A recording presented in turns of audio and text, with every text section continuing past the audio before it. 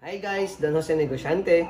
So today guys, I am really so happy and I would really like to thank all of you for the support and love that you have extended to Don Jose Negosyante.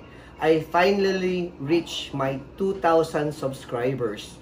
So sa inyong lahat po guys, maraming maraming salamat talaga from the bottom of my heart sa walang sawang pagsuporta po kay Don Jose Negosyante. Thank you, thank you so much for the 2,000 subscribers. Kahit na po guys, hindi pa po ako nagmumoni, under review pa po ako dahil ito sa, pre- sa present situation po natin ngayon. Pero ako'y lubos nagpapasalamat talaga sa inyong walang sawang pagmamahal po kay Don Jose Negosyante. Yan po guys, thank you, thank you so much talaga.